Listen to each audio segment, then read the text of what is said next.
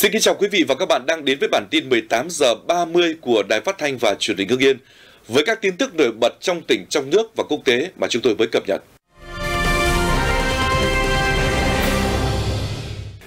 Thưa quý vị và các bạn, sáng nay tại di tích quốc gia khu lưu niệm đồng chí Tô Hiệu ở xã Nghĩa chủ huyện Văn Giang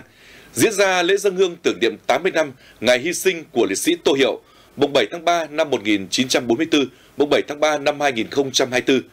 lãnh đạo tiền bối tiêu biểu của Đảng và Cách mạng Việt Nam. Tới dự có các đồng chí lãnh đạo Trung ương, lãnh đạo các tỉnh Hưng Yên, Sơn La và thành phố Hải Phòng. Phát biểu tại buổi lễ, nguyên Phó Chủ tịch Thường trực Quốc hội Tòng Thị Phóng bày tỏ sự tri ân sâu sắc trước những công lao đóng góp của liệt sĩ Tô Hiệu, nhất là việc đào tạo đội ngũ cán bộ cho Đảng và đặt nền móng cho phong trào cách mạng tại tỉnh Sơn La. Trên sợi dây liên kết là tinh thần Tô Hiệu, cả ba tỉnh thành phố Hải Phòng, Sơn La, Hưng Yên cùng học hỏi, hỗ trợ nhau để phát triển vươn lên mạnh mẽ. Các đại biểu đã thành kính dâng hương tưởng niệm 80 năm ngày hy sinh của liệt sĩ Tô Hiệu tại khu lưu niệm đồng chí ở thôn Xuân Cầu, xã Nghĩa Trụ huyện Văn Giang và trước tượng đài của đồng chí trong khuôn viên nhà truyền thống xã Nghĩa Trụ.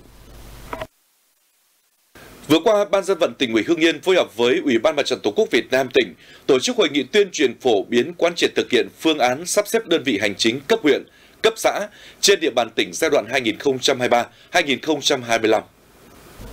Tại hội nghị, các đại biểu được phổ biến quán triệt triển khai thực hiện các văn bản chỉ đạo hướng dẫn của Trung ương, của tỉnh về việc sắp xếp đơn vị hành chính cấp huyện cấp xã. Theo đó, Mặt trận Tổ quốc, các tổ chức chính trị xã hội và hệ thống dân vận các cấp đẩy mạnh công tác tuyên truyền phổ biến quán triệt việc thực hiện sắp xếp đơn vị hành chính cấp huyện, cấp xã trên địa bàn tỉnh giai đoạn 2013-2015, chủ động cung cấp thông tin đầy đủ, chính xác cho cử tri và toàn thể nhân dân. Đối với các huyện thị xã thành phố, có các xã, phường, trong diện sắp xếp thành lập các tổ dân vận để đi tuyên truyền, vận động trực tiếp tại các thôn, tổ dân phố.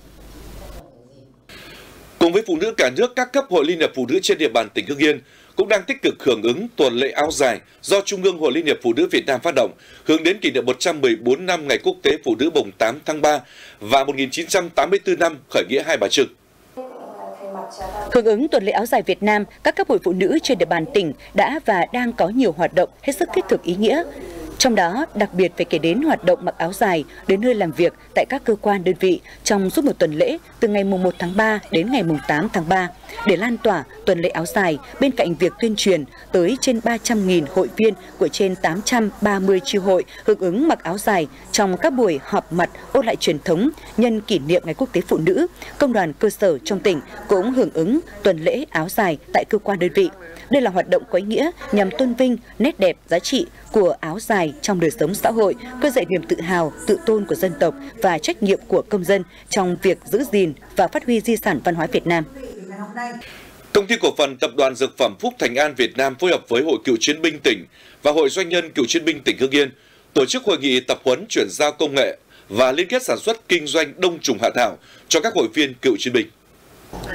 Tham gia hội nghị, các hội viên được doanh nghiệp hướng dẫn chuyển giao kỹ thuật cũng như cách nuôi cấy nấm đông trùng hạ thảo theo quy mô hộ gia đình. Sản phẩm sau thu hoạch được công ty thu mua lại hoặc hội viên có thể tự tìm kênh tiêu thụ trên thị trường. Nấm đông trùng hạ thảo là loại nấm dược liệu quý, có giá trị kinh tế cao, rất ít trong tự nhiên, chủ yếu được tìm thấy tại một số vùng núi cao thuộc Tây Tạng Trung Quốc, Nepal, Bhutan. Việc nuôi cấy nhân tạo thành công mở ra cơ hội đưa sản phẩm đến đông đảo với người tiêu dùng với giá cả phù hợp. Thành phố Bạc Liêu, tỉnh Bạc Liêu vừa công bố phương án trùng tu đồng hồ Thái Dương hơn 110 tuổi. Đồng hồ xem giờ bằng ánh mặt trời độc nhất Việt Nam sau thời gian xuống cấp và hư hỏng. Theo phương án trùng tu của thành phố Bạc Liêu, đồng hồ sẽ được phục hồi các giờ bị bục hỏng, khuôn viên di tích sẽ trồng hoa, cây cảnh và cắt tỉa thường xuyên để đảm bảo ánh nắng chiếu vào đồng hồ. Kinh phí trùng tu dự kiến hơn 800 triệu đồng. Hiện phương án cải tạo được trình để Ủy ban nhân dân tỉnh phê duyệt. Đồng hồ Thái Dương do ông Lưu Văn Lang còn gọi là Bác Vật Lang, sinh năm 1880, mất năm 1969, kỹ sư ngành công tránh đầu tiên của Nam Bộ, xây dựng năm 1913. Theo Bảo tàng tỉnh Bạc Liêu, đây là đồng hồ xem giờ bằng ánh nắng duy nhất sót lại ở Việt Nam. Độ sai lệch 5 đến 7 phút so với đồng hồ thông thường. Năm 2006, đồng hồ được công nhận là di tích lịch sử văn hóa cấp tỉnh cần bảo tồn. Bộ Công an vừa công bố hai tổ chức nhóm hỗ trợ người thượng và người thượng vì công lý là hai tổ chức hoạt động khủng bố đòi ly khai tự trị.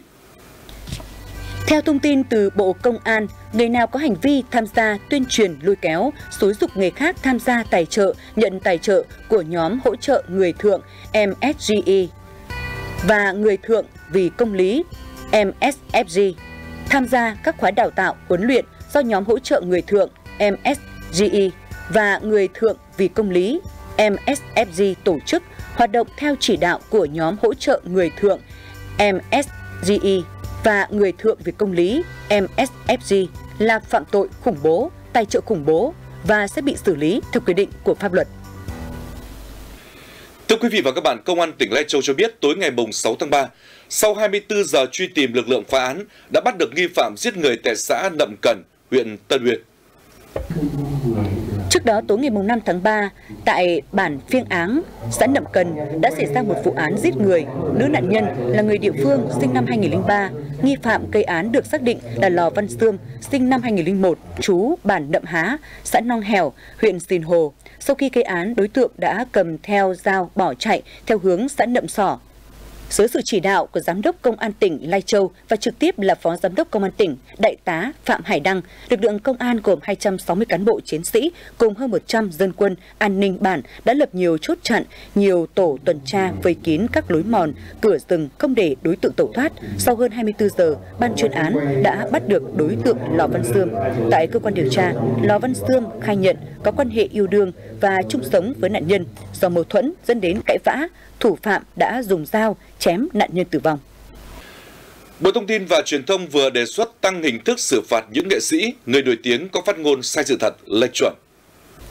Theo đó, đối với những nghệ sĩ, người có ảnh hưởng trên mạng xã hội có phát ngôn lệch chuẩn, sai sự thật, hiện nay, theo quy định, mức xử phạt đối với hành vi này là từ 5 đến 10 triệu đồng. Các sở thông tin và truyền thông thường chọn mức xử phạt ở giữa là 7,5 triệu đồng. Tuy nhiên, số tiền này chưa đủ sức gian đe, đặc biệt là đối với những nghệ sĩ có quảng cáo hàng tỷ đồng như hiện nay. Bộ Thông tin và Truyền thông đang trình chính phủ nghị định thay thế nghị định 72, dự kiến giữa năm 2024, nghị định này sẽ được chính phủ ban hành. Khi đó, Bộ sẽ tham mưu tăng mức phạt tiền cũng như thêm các hình phạt bổ sung cao hơn mức xử phạt hành chính đối với các hành vi sai phạm trên không gian mạng. Tiếp tục chương trình với phần tin quốc tế, hàng triệu cử tri tại 15 bang và một vùng lãnh thổ Mỹ đã đi bỏ phiếu nhằm chọn ra ứng viên của hai đảng Dân Chủ và Cộng Hòa sẽ đối đầu trong cuộc đua vào Nhà Trắng vào tháng 11 tới. Không nằm ngoài dự đoán Tổng thống Mỹ đương nhiệm Joe Biden và cựu Tổng thống Mỹ Donald Trump đã giành được những chiến thắng áp đảo tại hầu hết các bang. Theo truyền thông Mỹ, kết quả kiểm phiếu sơ bộ cho thấy cả Tổng thống Joe Biden và ông Donald Trump đều giành chiến thắng tại hơn 10 bang trong cuộc bầu cử ngày siêu thứ ba. Ngay sau khi kết quả được công bố, cựu Tổng thống Mỹ Donald Trump đã gửi lời cảm ơn tới những người ủng hộ. Tuy nhiên, cả hai ứng viên hàng đầu của hai đảng đều không thể có được một chiến thắng trọn vẹn. Dù vậy, xét về tổng thể, khả năng cao bầu cử Tổng thống Mỹ vào tháng 11 tới đây sẽ là cuộc tái đấu lịch sử giữa ông Trump và ông Biden. Thủ tướng Ấn Độ Narendra Modi hôm 6 tháng 3 đã dự khánh thành hệ thống đường sắt đô thị đi ngầm dưới nước đầu tiên của nước này ở phía đông Kolkata, Tây Bengal. Dự án trị giá gần 1,8 tỷ đô la Mỹ được xây dựng để giải quyết các vấn đề tồn tại lâu dài về tắc nghẽn giao thông và ô nhiễm không khí ở Kolkata và từ đó hứa hẹn một môi trường đô thị bền vững và hiệu quả hơn. Dịch vụ đường sắt đô thị được đưa vào sử dụng lần đầu tiên ở Kolkata vào năm 1984 và đã trở thành một trong những phương thức vận tải công cộng phổ biến nhất tại các thành phố của Ấn Độ kể từ đó. Sau buổi lễ khánh thành, Thủ tướng Modi đã có buổi trải nghiệm tuyến tàu điện và giao lưu cùng các bạn học sinh. Cá voi xám, loài vật được cho là đã vắng bóng ở Đại Tây Dương từ những năm 1700, mới đây đã bất ngờ xuất hiện ngoài khơi bang Massachusetts của Mỹ. Dù phát triển mạnh ở Thái Bình Dương, cá voi xám đã vắng bóng ở Đại Tây Dương từ năm 1700. Tuy nhiên, nhóm khảo sát trên không của Thủy cung New England đã phát hiện một con cá voi xám hôm 1 tháng 3 gần đảo Nantucket ở bang Massachusetts. và chụp ảnh khi nó lặn liên tục rồi nổi lên. Thủy cung cho biết có khả năng con cá voi xám này cũng đã xuất hiện ngoài khơi Florida vào cuối năm ngoái. Biến đổi khí hậu có thể là lý do khiến cá voi xám có dấu hiệu quay trở lại Đại Tây Dương Dương. Con cá voi hôm 1 tháng 3 có thể đã đi qua hành lang Tây Bắc, tuyến đường đi qua Bắc Băng Dương, kết nối Thái Bình Dương và Đại Tây Dương. Sự ấm lên toàn cầu khiến hành lang Tây Bắc không có băng vào mùa hè, cung cấp tuyến đường tự do cho cá voi xám bơi vào Đại Tây Dương. Bản tin 18 giờ 30 của Đài Phát thanh và Truyền hình Hương Yên xin được khép lại tại đây. Cảm ơn quý vị và các bạn đã quan tâm theo dõi. Xin kính chào tạm biệt và hẹn gặp lại.